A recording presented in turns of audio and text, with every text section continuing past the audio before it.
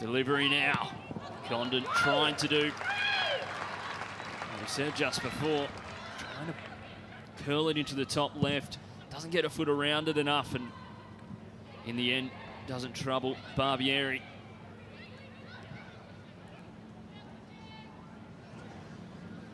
Having an underrated campaign. Anna Wilkinson on the other hand, very much rated and a header in now. Condon just going wide. Off the corner, delivered by Fiona Worts. We've got to say that's a, a, lovely ball in there by Worts, and it's rare that Rebecca Stott is muscled off a challenge there, but Condon has done extremely well to get first to that ball. Condon back onto the field now. Dawber, that's a lovely ball across the face. Checker able to intercept. I believe it was Isabel Hodgson playing the ball over the top once again.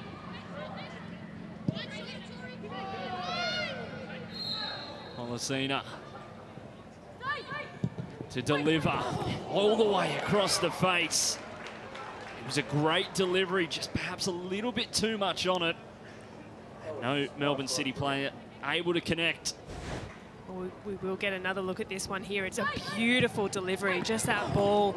Rebecca Stott knows she had to do better with that. She's almost glanced away from that opportunity and all it needed was a, a touching glancing header and that would have been in the back of the net for Melbourne City. Here in the city of churches. Pollicina with the touch to open things up. Back on the ball now. Pollicina deflected and collected by Grove. Felt a little bit more lively from City there. Really just a nice ball through from Hannah Wilkinson. Money for both coaches to address at the halftime break. Hayward, can Adelaide get one? The strike just wide and saved in the end by Barbieri. That is brilliant from both Adelaide United and Melissa Barbieri.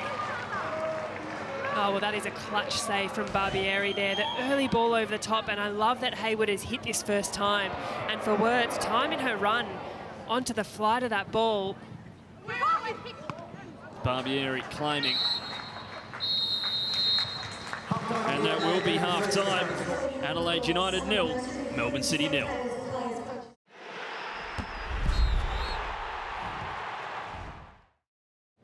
For City, we saw them almost score. Rebecca Stott glancing the header in the first half. Can they amend it across the face once again? And almost carbon copy of the first half. Marissa Vandermeer, the youngster, potentially getting onto it at the end, just drifting wide.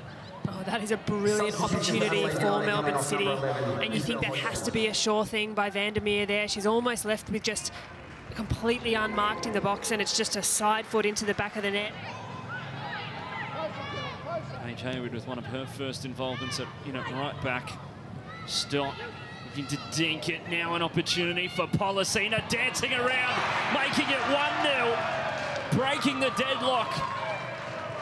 And the away side, Melbourne victory, take the lead through a lovely bit of footwork and tucking it away is Rhianna Pollicina. That was a, a, lovely little chippy ball in there from Rebecca Stott as she finds herself in the middle of the park with not too much pressure on her. And Adelaide United just failed to really defensively clear that one effectively and, and not too much Annalee Grove can do in that situation. But defensively Adelaide have just sat down there and Pollicina credit to her for, for tucking that one away but this lovely little death ball through from Rebecca Stott had just a, a beautiful amount of spin and texture on it and Melbourne City, you'd say, against the run of play, have taken the lead. It's good from Hayward. Condon with a lovely move out wide, and the ball in now for the substitute.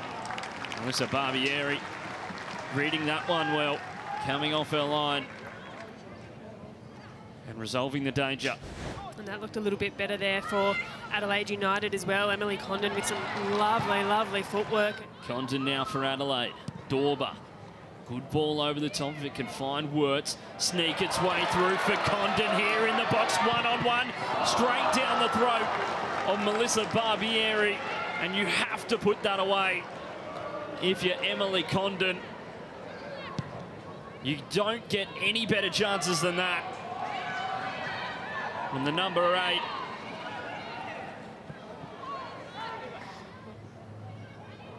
Wilkinson dinked over for Pollicina, looking for two, gets contact, goes down, not given by Girardello.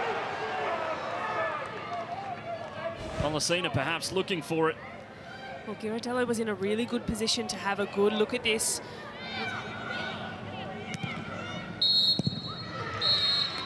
And that is full time. Melbourne City continuing their good form against the Reds. They finish the game 1-0 victors.